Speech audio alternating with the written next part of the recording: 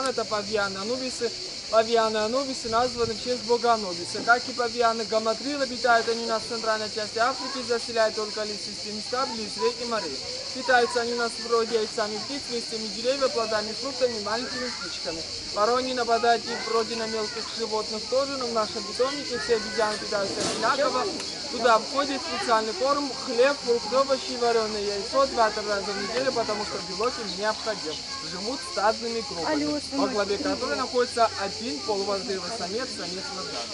И обратите внимание на этот памятник. Этот памятник был сооружен во знаменовании 50-летия со дня открытия нашего института с 1927 по 1977 годов. И еще один факт, то, что этот памятник был поставлен ему за заслуги его перед медициной. На этом виде изучались десятки человеческих болезней, такие как оспа, гепатит, желтая лихорадка, туберкулез, тиф и многое другое. Так, виде это у нас был павиан Гамадрил, звали его Мурей, и прожил он 39 лет. При жизни у Мурея было около 200 самочек и 1400 детенышей. На этом наша экскурсия завершается. Приятного вам отдыха, до свидания.